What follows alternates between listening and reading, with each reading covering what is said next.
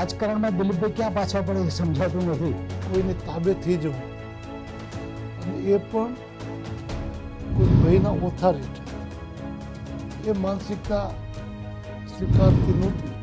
ઉપકોના chairman તરીકે ખેડૂતોના હિતમાં તમે લીધેલા નિર્ણયો કયા કયા છે? સૌને સાથ લઈને જે માન્ય વડાપ્રધાન કહે છે સૌનો સાથ સૌનો વિકાસ. ત્યારે દિલીપભાઈ ચૂંટણીના ઉમેદવાર હશે. કે ચૂંટણીના કોઈ ઉમેદવાર માટે દોડતા હશે? કે વિદ્યાર્થી કાલથી ચૂંટણી લડતો આવ્યો છું, જીતતો આવ્યો છું અને ચૂંટણી હારી જવી એટલે પાછા પડ્યા કેવું એ હું સ્વીકારતો નથી.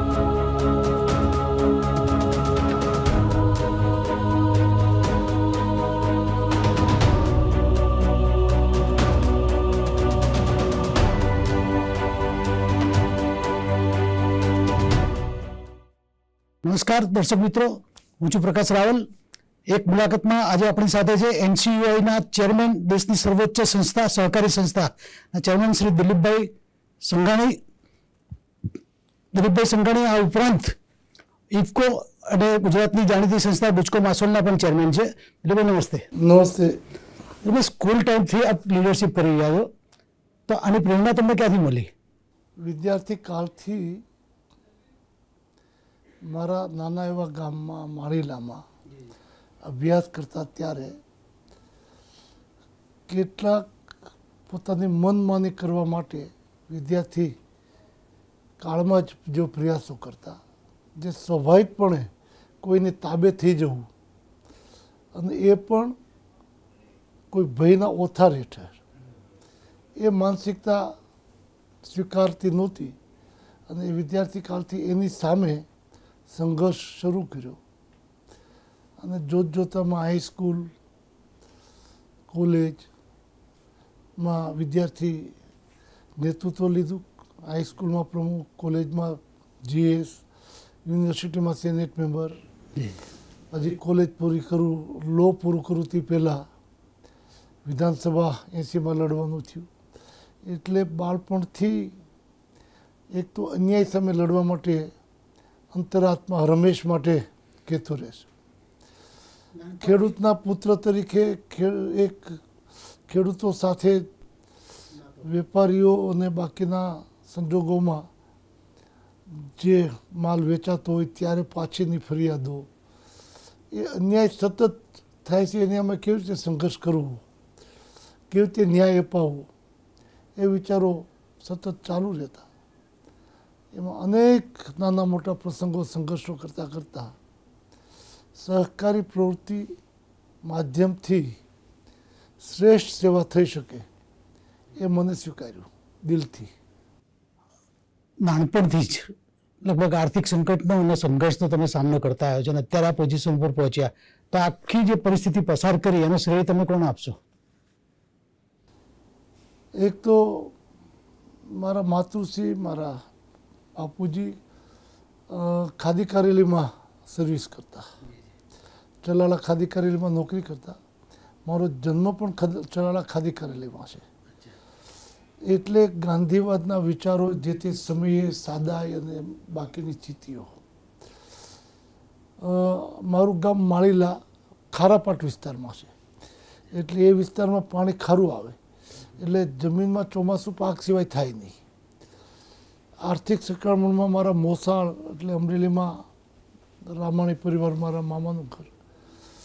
એમણે અમને અભ્યાસ કરાવ્યો જોલે જ કોઈને એવા મામા મળે કે એકોતેર બોતેરના દુષ્કાળમાં મારી બા ને ત્રણ બહેનો હતા.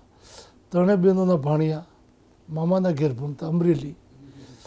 અને એ દુષ્કાળની સ્થિતિમાં પોતાની જમીન વેચીને પણ અમને ભણવાની ના ન પડીને ભણાવ્યા. તો એમની ઉદારતાના ગુણો, એમના સંઘર્ષના ગુણો, એ સ્થિતિમાં બધા અનુભવો જોતા ગયા. અને એવી પરિસ્થિતિઓ જાણી ત્યારે એના પ્રત્યે સહાનુભૂતિપૂર્વક કેમ મદદરૂપ થવું. એ જ હંમેશા વિચારો આવતા. એટલે આર્થિક સંક્રમણની સામે પણ સંઘર્ષો કર્યા છે, પણ સ્વયં મહેનત કરવામાં બાકી નથી રાખી. કોલેજમાં જીએસ હતો, મારા મોટાભાઈ જીએસ હતા, નાનો ભાઈ પ્રમુખ હાઈસ્કૂલમાં હતો. આમ છતાં એ દિવસોમાં કોલેજના જીએસ હોવું એટલે ખૂબ મોટું મભાનું સ્થાન. પરંતુ અમારા એ વખતના પ્રિન્સિપાલ મુનિમ સાહેબ અમારા પ્રત્યેનો પ્રેમ અને લાગણીથી એ કેમ્પસમાં રસનો સિચોડો ચલાવવા માટે અમને છૂટ આપતા હતા. એમાંથી અમારી આવક ઊભી કરીને ઉનાળામાં.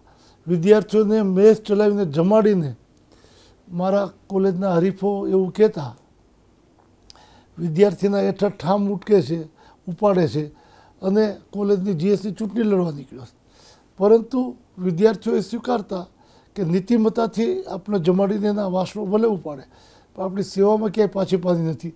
એટલે એ દિવસોમાં પણ મને સતત, હું ભણ્યો ક્યાં સુધી, કોલેજના વિદ્યાર્થીઓએ જીતાડ્યો. એટલે શ્રમ કરવામાં અલગ અલગ રસ્તો, સિચોડો ચલાવવાનો હોય મેચ ચલાવીને વિદ્યાર્થીઓના વાસણ ઉપાડવાનું હોય. મારો આખો બધા જ ભાઈઓ સાથે એમાં અમે સંઘર્ષ કરવામાં, શ્રમ કરવામાં ક્યારેય સંકોચ નથી અનુભવ્યો. એટલે ભાઈ લગભગ આખું આખું આપણે સહકારી ક્ષેત્રમાં પસાર કર્યું છે. ત્યારે દેશમાં ટોપ લેવલે જ્યારે અમિતભાઈ શાહે સહકારી વિભાગ ઊભો કર્યો, આ વિભાગ ઊભો કરવાથી સહકારી ક્ષેત્રમાં કોઈ મહત્વના ફેરફારો તમારી દ્રષ્ટિએ? આ દેશ નહીં, માત્ર દુનિયા આખી. આવતા દિવસોમાં જે આર્થિક સ્થિતિઓ છે, મૂડીવાદ, સામ્યવાદ જે તરફ દુનિયામાં સામ્યવાદ નિષ્ફળ ગયો. મૂડીવાદ છે, એ પણ શોષણનું પ્રતીક છે. તો સમાનતાથી બેલેન્સિવ જો કોઈ આર્થિક નીતિ કરીએ કેમ હોય તો સહકારિતા છે. કારણ મૂડીવાદમાં કોઈ મૂડી લગાવશે મોટી કંપની. ખૂબ મોટી કંપની બનશે. એમાં મજદૂરોથી માંડીને કર્મચારીઓ, અધિકારીઓ જે કામ કરશે, આખરી જે નફો થશે એના માલિક પાસે જશે. એ વધુ બનશે સામ્યવાદમાં આપણે સાંભળીએ છીએ, હાથમાં બંદૂક લઈને સામ્યવાદ આવે જે ક્રાંતિ અને લોહિયાલની દિશાઓ તરફ જાય છે. ત્યારે સહકારી પ્રવૃત્તિ દ્વારા સમાનતાથી, સરળતાથી, શાંતિથી સૌને સાથ લઈને જે માન્ય વડાપ્રધાન કહે છે, સૌનો સાથ, સૌનો વિકાસ, આત્મનિર્ભર ભારત. એ બધા દર્શન સહકારિતામાં થાય. ઇફકો જેવી મોટી કંપની આજે જે સહકારી સંસ્થા, અમૂલ જેવી મોટી સંસ્થા, ખૂબ મોટું કામ વ્યવહાર કરે. આખરી એનો નફો ક્યાં જાય? એક પશુપાલક જે ઉઘાડા પગે પશુઓને ચરાવતો ચરાવતો પોતાનું દૂધ લઈને ભરતો હોય, એનો નફો આખરી એની પાસે જાય. ઇફકો દેશ દુનિયામાં નેનો યુરિયા દ્વારા આજે વ્યવસાય શરૂ કર્યો છે. પહેલાં અન્ય વ્યવસાયો કરતો હતો.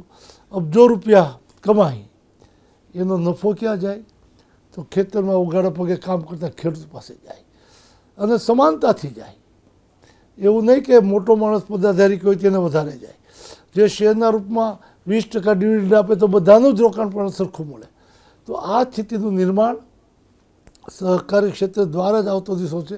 અને મને વડાપ્રધાને પંચોતેર વર્ષીય આઝાદીના અમૃત મહોત્સવ જ્યારે ઉજવાઈ રહ્યો છે ત્યારે જોયું કે આ દેશની ક્રાંતિ જો આર્થિક રીતે લાવી હોય, સલામતી લાવી હોય, સુવિધાઓ વધારવી હોય, તો સહકારીના માધ્યમથી આવશે. એટલા માટે એમણે સહકારથી સમૃદ્ધિ આ સ્લોગન સાથે અલગ વિભાગ કરીને એમણે એક સક્ષમ, સફળ અને મજબૂત એવા સહકાર મંત્રી આપ્યા અમિતભાઈ શાહ. જેમણે ગુજરાતમાં અમે બધાએ સાથે સહકારી ક્ષેત્રમાં કામ કર્યું છે. એમને અનુભવ છે. અને એમણે જે રીતે કામ આજે ઉપાડ્યું છે સહકારી ક્ષેત્રમાં, તો મને લાગે છે કે આવતા દિવસોમાં આ દેશના મોટા ભાગના લોકો સહકારી ક્ષેત્રના માધ્યમથી ખૂબ મોટી રોજગારી મેળવતા છે રોજગારી તો મેળવશે, સલામતી પણ અનુભવશે, સમૃદ્ધિ પણ મેળવશે.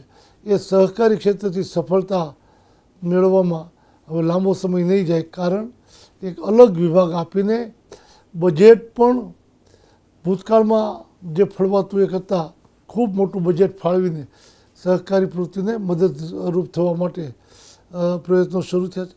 કૃષિ ક્ષેત્રે મૂલ્યવર્ધક જે કોઈ જણસ છે, એ જણસને મૂલ્યવર્ધક કરીને દુનિયાના અન્ય દેશોમાં નિકાસ કરવા માટેની યોજનાઓ બની ચૂકી છે. એના પ્લેટફોર્મો બન્યા છે. એના માટે પ્રોત્સાહન મળે છે. એના માટેની વ્યવસ્થા તંત્ર ગોઠવાય છે. જે આ દિવસના ઇતિહાસમાં ક્યારેય ન જોયું હોય એ રીતે યુવાનોને આકર્ષવા માટે અલગ વ્યવસ્થા થાય છે. મહિલાઓ માટેની રોજગારીની વ્યવસ્થા થાય છે. જરૂરિયાતમંદ ગરીબ લોકોને એના વ્યવસાયના, એના રહેણાંકના વિસ્તારમાં મળી જાય વ્યવસાય. એની ચિંતા થાય છે. એમ તમામ ક્ષેત્રનો જે અભ્યાસ કરીને એમને રોજગારી પ્રાપ્ત પ્રથમ ક્યાંથી થાય? સહકારી ખેતીના માધ્યમથી.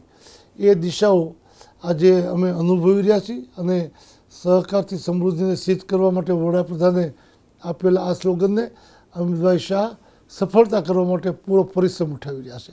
એટલે ગુજરાતનું સ્થાન ક્યાં આગળ છે? સહકારી ક્ષેત્રમાં અન્ય રાજ્યના પ્રમાણમાં ગુજરાતનું સ્થાન ક્યાં આગળ છે? ગુજરાતની પ્રવૃત્તિ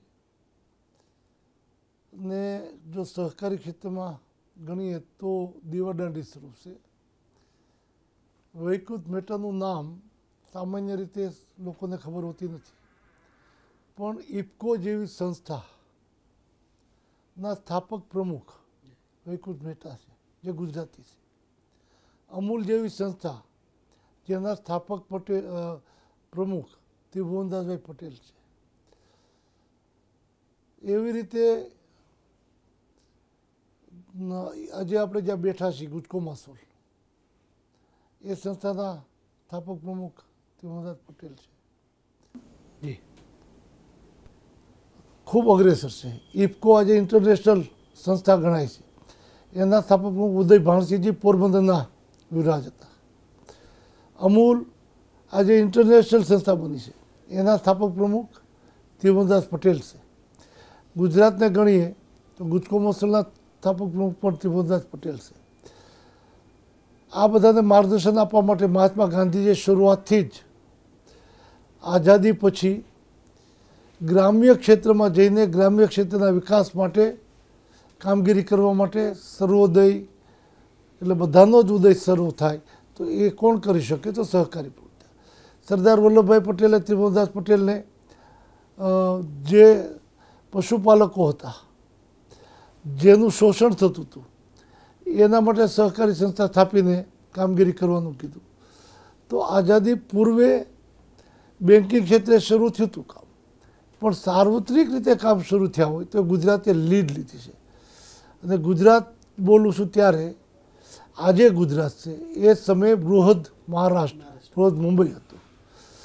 એટલે પૂનામાં પણ વૈકુંઠ મેટા ઇન્સ્ટિટ્યૂટ જે છે એ મૂળ ભાવનગરના. એમ ગુજરાતનું નેતૃત્વ શરૂઆતથી જ સહકારી ક્ષેત્રે ખૂબ મોટું રહ્યું છે. અને આજે પણ સહકારી ક્ષેત્રમાં જે ગુજરાતમાં કામગીરી પ્રાઇમરી સોસાયટી સુધી થઈ રહી છે. એ દેશના અન્ય રાજ્યો કરતાં અગ્રેસર છે. ગુજરાતની દૂધ મંડળીઓ છે એના દ્વારા મહિલાઓ ઘણી બધી સશક્ત બની છે. ગુજરાતનું આ મોડેલ દેશના અન્ય રાજ્યોમાં લાગુ કરી શકાય?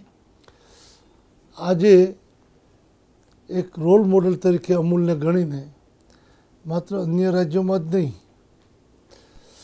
પરંતુ અમૂલ દ્વારા વિવિધ ક્ષેત્રમાં હવે રોજગારી આપવા માટે, આર્થિક સમૃદ્ધિ માટે જે રીતે કામ શરૂ થયા છે, એને અન્ય રાજ્યોમાં પણ અમલીકરણ કરવા માટે મને અમિતભાઈ શાહે તાજેતરમાં જ અમારી મિટિંગો બોલાવીને અલગ અલગ જવાબદારીઓ સોંપી છે ફૂડ ક્ષેત્રે અમૂલને જવાબદારી સોંપી છે, જે આંતરરાષ્ટ્રીય ક્ષેત્રે એક્સપોર્ટ કરવાનું કામ કરવાનું હોય તો અમૂલ જોવે.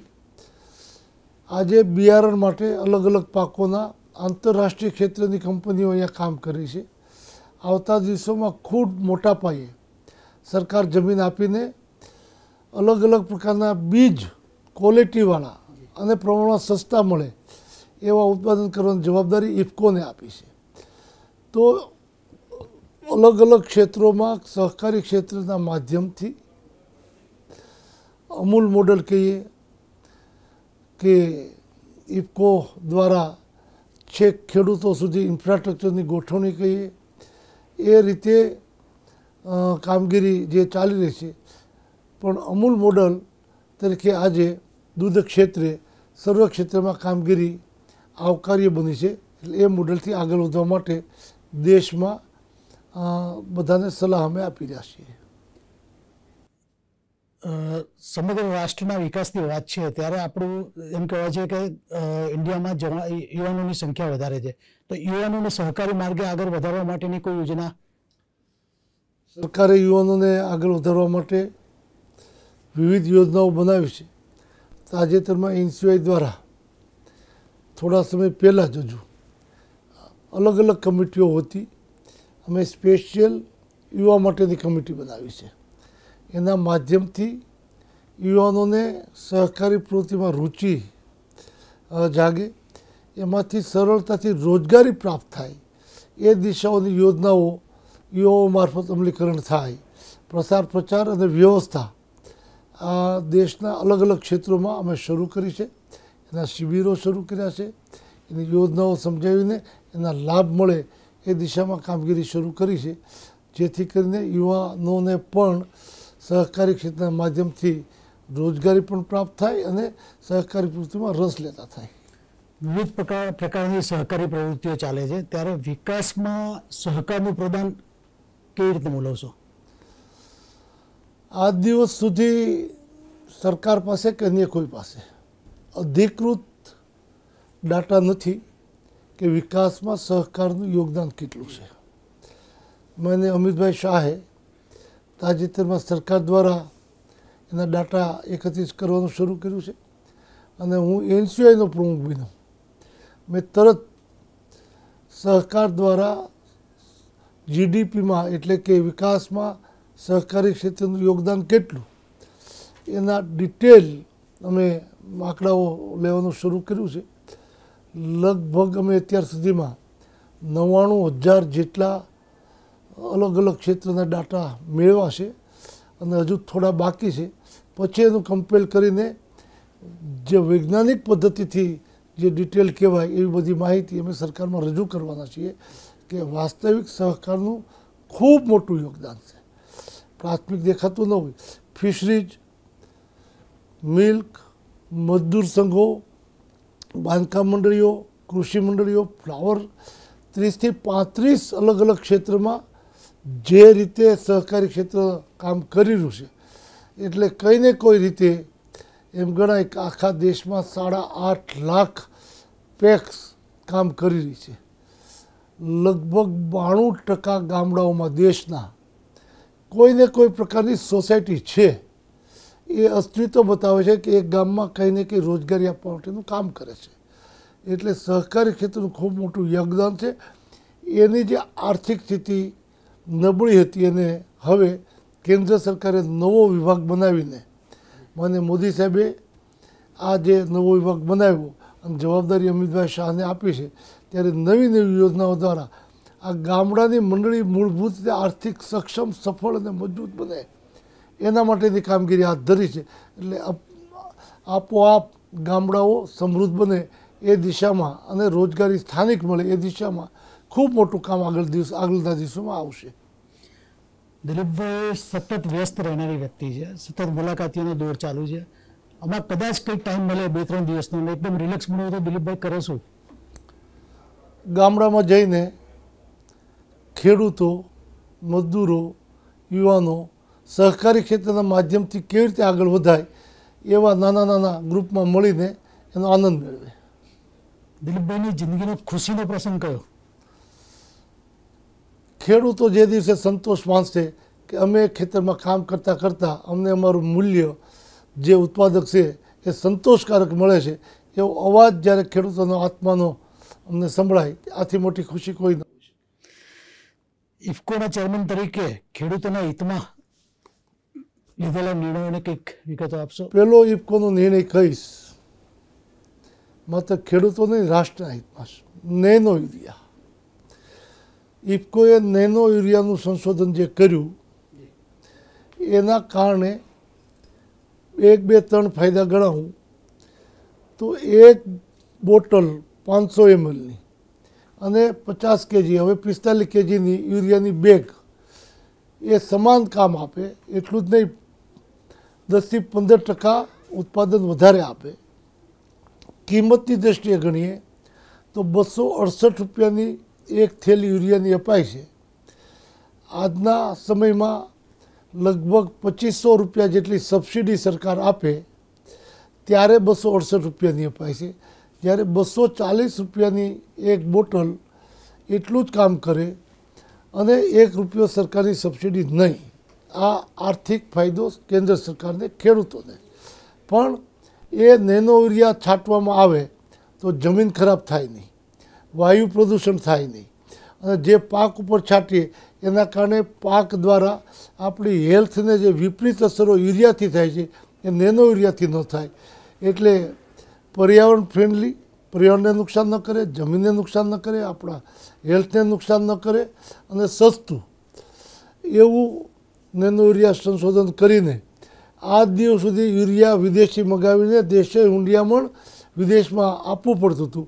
આવતા દિવસોમાં આ નેનો વિદેશ મોકલીને હુંડિયામણ કમાવી આપવાનું કામ દેશ માટે જે થશે, એટલે ખેડૂતો માટે, દેશ માટે અને વાયુ પ્રદૂષણને એટલે સર્વ સમાજ માટે શ્રેષ્ઠ કામ નેનો યુરિયાનું સંશોધન છે. હવે ડીએપી પણ શોધાઈ ગયું છે ક્રોપર પણ શોધાણું છે. આવતા દિવસોમાં ક્રમશઃ સરકારની મંજૂરી લઈને અમે બજારમાં મૂકશું. તમે રાષ્ટ્રીય કક્ષાના સહકારી આગેવાન છો. ગુજરાતમાંથી તમે આગેવાની કરી ચૂક્યા છો, તો ગુજરાતના ખેડૂતોની પરિસ્થિતિ કયા પ્રકારની છે અત્યારે, અન્ય રાજ્યોના પ્રમાણમાં? અન્ય રાજ્યોના પ્રમાણમાં ખેડૂતોએ અલગ અલગ ક્ષેત્રમાં અલગ રીતે પરિસ્થિતિ છે. ગુજરાતના ખેડૂતોને ચાર વિભાગમાં વેચવા પડે એવું છે. દક્ષિણ ગુજરાત આવા ડાંગ જઈએ તો પોતે જે મહેનત મજૂરી કરતા હોય છે. મધ્ય ગુજરાતમાં મોટાભાગને ખેડૂતો વિદેશ તરફ પ્રયાગરણ આર્થિક રીતે કર્યા છે. સૌરાષ્ટ્રમાં જોઈએ તો દક્ષિણ ગુજરાતમાંથી મજૂરો દ્વારા ખેતી કરાવીને પોતે દક્ષિણ ગુજરાતમાં આર્થિક રીતે પ્રયાણ કર્યા છે. ઉત્તર ગુજરાતમાં પશુપાલન સાથે વ્યવસાય ખેડૂતો કર્યા છે. એવી પરિસ્થિતિમાં જે શ્રમ પોતે કરે છે, એ ખેતીને વધારે સમૃદ્ધ કરી શકશે. પરો બીજાના આધાર ઉપર જ્યારે ખેતી થઈ રહી છે, ત્યારે પોતાની અપેક્ષાઓ સંતોષી ન શકાય એવી સ્થિતિમાં જે તેનો સમય ગુજરી રહ્યો છે, તો સરકારનો પ્રયાસ છે કે કૃષિ ક્ષેત્રે એટલી યોજનાઓ બને, એટલી સમૃદ્ધિ આવે કે નવયુવાનોને પણ પોતાના બાપ દાદાની ખેતીમાં ખેતી કરવાનું મન થાય, એ સ્થિતિનું નિર્માણ કરવા માટે વિવિધ યોજનાઓ દ્વારા સરકાર આધુનિક ટેકનોલોજીનો ઉપયોગ કરીને પણ પ્રયાસ કરે છે. જેમ દવા છાંટવી હોય તો શરૂઆતમાં ખેતરમાં પંપ દ્વારા હાથથી બધો જે પ્રયાસો થતા, એના બદલે હવે ડ્રોન દ્વારા આ દવા છટાય. વાવેતર તો મશીન દ્વારા વાવેતર થાય. તો નવી ટેકનોલોજી યુવાનો સ્વીકારશે જલ્દી. એવી અલગ અલગ સ્થિતિથી ખેતી થાય એ દિશામાં પણ સરકાર પ્રયાસ કરે છે. છેલ્લા કેટલાક ટાઈમથી ટેકાના ભાવ ટેકાના ભાવ એવો શબ્દ વધારે જાણવા મળે છે. આ ટેકાના ભાવ છે શું? ભૂતકાળમાં ટેકાના ભાવ એટલે ખેડૂતોને જ્યારે ઉત્પાદન વધારે આવે છે સારી સિઝન થાય છે ત્યારે નોર્મલ બજાર કિંમત હોય છે એ કરતાં ભાવ ડાઉન થઈ જાય છે, એકદમ. ત્યારે સરકારે કરેલા ભાવ કરતાં નીચે જાય, ત્યારે સરકારે એ જણસ ખરીદવાની હોય છે અને ટેકાના ભાવ કહે છે. પણ ભૂતકાળમાં ખેડૂતોનું ઉત્પાદન થાય, માર્કેટમાં આવે, માલ વેચાઈ જાય, ત્યારે ટેકાના ભાવ જાહેર થતા. માન્ય નરેન્દ્રભાઈ મોદી વડાપ્રધાન બન્યા તે પહેલાં એમણે જાહેર કર્યું કે અમે આ એમએસપી એટલે મિનિમમ સપોર્ટ પ્રાઇસ ટેકાના ભાવ ખેડૂતો વાવણી કરવા જશે તે પહેલાં જાહેર કરશું. જેથી કરીને એને કયો પાક વાવવો એને ખ્યાલ આવે.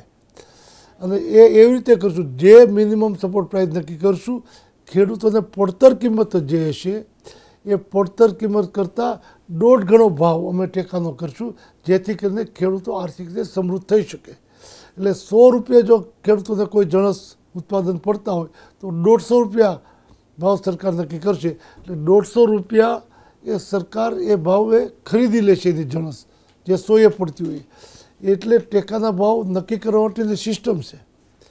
રાજ્યમાં કૃષિ ઇન્ડસ્ટ્રીના પ્રતિનિધિ કૃષિ મંત્રીના અધ્યક્ષસ્થાને મિટિંગ કરે છે. એમાં ખેડૂત અગ્રેસરના પ્રતિનિધિઓ, એમાં ખેતીવાડીના અધિકારીઓ ખેતીવાડી વિભાગના અધિકારીઓ, એ બધા જ મળીને કઈ જણસ કેટલા રૂપિયે ઉત્પાદન થાય છે, એનો હિસાબ લાવે છે. એમાં મજદૂરી ખર્ચ, એમાં બિયારણ ખર્ચ, દવાનો પટ, કેટલી વખત દવા છાંટવાની, કેટલી વખત ખાતર છાંટવાનું, બધા જ ગણિત સાથે કેટલા રૂપિયા પડતર આવે છે, એ કિંમત નક્કી કરે છે. અને એ કિંમત લઈને દેશભરમાંથી કેન્દ્ર સરકારના કૃષિ મંત્રીના અધ્યક્ષસ્થાને મિટિંગ થાય છે. અને બધા જ પ્રતિનિધિઓની હાજરીમાં આ બધા રિપોર્ટ થાય છે. એના આધારે સરેરાશ કાઢીને કેન્દ્ર સરકાર ટેકાના ભાવ નક્કી કરતી હોય છે. અને એ સપોર્ટ પ્રાઇસ જે જાહેર થાય, એ જે પડતર હોય એને કરતાં દોઢ ગણા ભાવ નક્કી કરીને નરેન્દ્રભાઈ મોદીની સરકારે આ જાહેર કર્યું છે એ આપે છે. જેથી કરીને આ દિવસ સુધી ટેકાના ભાવ એક તો ખેડૂતોનો માલ વેચાઈ જતો, પછી બહાર તરતા સાયન્ટિફિક નહોતા, એના બદલે સાયન્ટિફિક રીતે આ વૈજ્ઞાનિક પદ્ધતિએ નક્કી કર્યું છે. અને એમાં પણ આધુનિકકરણ લાવવા માટે બે દિવસ પહેલાં જ આની એક તજજ્ઞોની કમિટી બનાવી છે. અને કમિટીમાં મને એક સભ્ય તરીકે જવાબદારી જ્યારે સોંપાય છે, ત્યારે ખેડૂતોના હિતમાં ઝીણામાં ઝીણો અભ્યાસ કરીને ખેડૂતોને પડતી જણસ, ઘણી વખત ખેડૂતોનો પરિવાર કામ કરતો હોય એનું શ્રમનું યોગદાન ગણાતું નથી હોતું. એનું પણ યોગદાન ગણીને કેટલે પડતર પડે છે એ જોઈને ખેડૂતોના હિતમાં નિર્ણયો થાય એ દિશામાં અમે ચોક્કસ કામગીરી કરવાના છીએ. દિલીપભાઈ કૃષિ મંત્રી રહ્યા કાયદા મંત્રી રહ્યા સહકારી આગેવાન છે તો ચૂંટણીની રાજનીતિમાં દિલીપભાઈ ક્યાં પાછા પડે છે? ચૂંટણીની રાજનીતિમાં ક્યારેય પાછો પડ્યો નથી.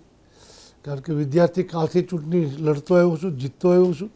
અને ચૂંટણી હારી જવી એટલે પાછા પડ્યા કેવું એ હું સ્વીકારતો નથી. દિવાળી આવે ત્યારે એ કોઈ એવો પ્રસંગ નથી કે કોઈને કોઈ ફટાકેથી દાજ્યું ન હોય અને બીજા વર્ષે દિવાળી મનાવવાનું બંધ કરે. તો પણ મનાવતો હોય. પતંગ ઉત્સવ હોય અને કોઈ છાપરેથી પીડ્યો ન હોય કે સાયકલના એક્સિડન્ટમાં ન આવ્યો કે દોરીથી હાથ ન વીંજાણો હોય એવું ક્યારેય છાપવામાં આવ્યા વિના રહ્યું નથી. તો પણ બીજા વર્ષે એ ઉજવતા જ હોય. ચૂંટણી એક લોકશાહીનું પર્વ છે. અને હાર જીત એ સ્વાભાવિક સહજતાથી સ્વીકાર્ય હોય છે. એટલે આજે પણ ભારતીય જનતા પાર્ટીનો વિજય થાય એના માટે સતત મહેનત કરવાના છીએ કરું છું અને અમારી કામગીરી એ જ દિશામાં હોય છે. જેથી કરીને ભારતીય જનતા પાર્ટીનો વિશ્વાસ વધુમાં વધુ લોકોને સંપન્ન થાય. અને નરેન્દ્રભાઈ મોદી જેવું દેશને નેતૃત્વ મળ્યું હોય, ત્યારે તો અમારે એકદમ સરળથી ચાલવાનું છે. લોકોનો સંપર્ક જ કરવાનો છે. મોદી સાહેબના નામે લોકોનું સમર્થન ખૂબ મોટું પ્રાપ્ત છે. ગુજરાત વિધાનસભાની ચૂંટણીઓ બહુ નજીકના ભવિષ્યમાં આવી રહી છે. ત્યારે દિલીપભાઈ આમાં એક ઉમેદવાર હશે કે કોઈ ઉમેદવાર માટે દોડતા હશે? દિલીપભાઈને ઉમેદવારી કરવામાં રસ નથી. ભારતીય જનતા પાર્ટીનો કાર્યકર્તા છું. કોઈની ભલામણ કરવામાં રસ નથી. ભારતીય જનતા પાર્ટી જેને કમલ આપશે એ કમલને જીતાવવા માટે દિલીપ સંઘાણી કામ કરતા હશે. તો આ હતા દિલીપભાઈ સંઘાણી. ફરી એક મુલાકાતમાં નવા કોઈ નેતાજીની સાથે મળીશું. ત્યાં સુધી રજા આપશો. નમસ્કાર. નમસ્કાર.